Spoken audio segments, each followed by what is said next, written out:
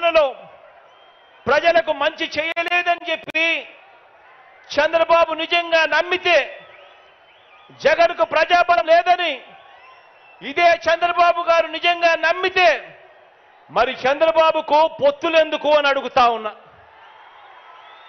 ఇదే చంద్రబాబుని అడుగుతా ఉన్నాను. నిజంగా నువ్వు జగన్ మంచి చేయలేదని అనుకుంటే నిజంగా నువ్వు జగన్ మేనిఫెస్టోలో చెప్పినవి చెయ్యలేదని అనుకుంటే నిజంగా నువ్వు జగన్కు ప్రజాబలం లేదనుకుంటే నీకు ఇంతమందితో ఇన్ని పొత్తులు ఎందుకయ్యా చంద్రబాబు అని అడుగుతా ఉన్నా. తన నడక కోసం తన నడక కోసం అటో కర్ర ఇటో కర్ర రెండు కర్రలు ఎందుకయ్యా చంద్రబాబు అని అడుగుతా ఉన్నా. తన సైకిల్ తోయటానికి నీకు ఒక ప్యాకేజీ ఇస్తారు. ఎందుకయ్యా అని అడుగుతా ఉన్నాను. ఈ యాభై ఏడు నెలలు మన పరిపాలన చూశారు. గతంలో చంద్రబాబు నాయుడు గారి పరిపాలన కూడా చూశారు. ఆ ఐదు సంవత్సరాల చంద్రబాబు నాయుడు గారి పరిపాలన చూశారు. ఈ యాభై ఏడు నెలల పరిపాలన మన పార్టీ పరిపాలన మీ బిడ్డ పరిపాలన మీ అన్న పరిపాలన చూశారు. నేను అడుగుతా ఉన్నాను ఒకటే మిమ్మల్ని అందరినీ కూడా. ఎలాంటి నాయకుడు మీకు కావాలి అని చెప్పి అడుగుతా ఉన్నా. వచ్చే ఎన్నికల్లో మన టార్గెట్ నూట డెబ్బై ఐదుకు నూట డెబ్బై ఐదు అని అడుగుతా ఉన్నాను. వచ్చే ఎన్నికల్లో మన టార్గెట్ ఇరవై ఐదు ఎంపీలకు ఇరవై ఐదు ఎంపీలు అని అడుగుతా ఉన్నాను. పరిపాలనలో మనం ఎక్కడా తగ్గలేదు.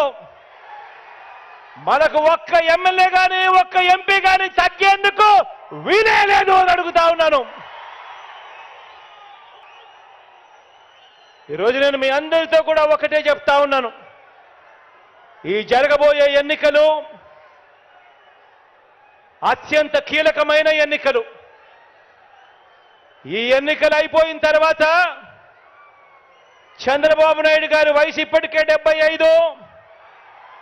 ఈ ఎన్నికలు అయిపోయిన తర్వాత చంద్రబాబు నాయుడు గారి వయసు ఎనభైకి పోతుంది. ఈ ఎన్నికలు అయిపోయిన తర్వాత ఇక తెలుగుదేశం పార్టీ రూపురేఖలు కూడా ఎక్కడ కనిపించవు. ఈ ఎన్నికలు అందుకనే చాలా కీలకం. ఈ ఎన్నికల్లో అందుకే వాళ్ళంతా కూడా పెత్తందారులంతా కూడా ఏకమవుతా ఉన్నారు. అందుకే వాళ్ళంతా కూడా తోడేళ్ళుగా అందరూ కూడా ఏకమవుతా ఉన్నారు. మనం యుద్ధం చేస్తా ఉన్నది ఒక చంద్రబాబు నాయుడు గారు ఒక్కరితో మాత్రమే కాదు. ఒక ఈనాడుతో యుద్ధం చేస్తా ఉన్నాం. ఒక ఆంధ్రజ్యోతితో యుద్ధం చేస్తా ఉన్నాం. ఒక టీవీ ఫైవ్తో యుద్ధం చేస్తా ఉన్నాం. ఇదే పెద్ద ఈ యుద్ధం పేదలు ఒక వైపున ఉంటే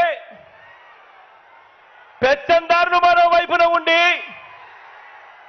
ఈ యుద్ధం జరగబోతా ఉంది. ఈ యుద్ధం మాట ఇచ్చి నిలబెట్టుకున్న మనకు మాట తప్పడమే అలవాటుగా ఉన్న ఆ పెత్తందారులకు మధ్య జరగబోతా ఉంది ఈ యుద్ధం. ఈ యుద్ధం విశ్వసనీయతకు వంచనకు మధ్య ఈ యుద్ధం జరగబోతా ఉంది. ఇలాంటి ఈ యుద్ధంలో పేదవాడి భవిష్యత్ కొరకు పేదవాడి తరపున నిలబడడానికి మీరంతా కూడా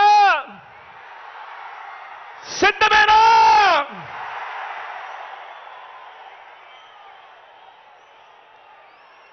ఈ యుద్ధం వేరే రాష్ట్రంలో ఉంటూ మోసం చేసేందుకు అప్పుడప్పుడు మన రాష్ట్రానికి వచ్చిపోతూ ఉన్న నాన్ రెసిడెంట్స్ ఆంధ్రాస్ అప్పుడప్పుడు మనల్ని మోసం చేయడానికి మాత్రమే వస్తూ ఉంటారు. ఎవరు మన రాష్ట్రంలో కూడా ఉండరు.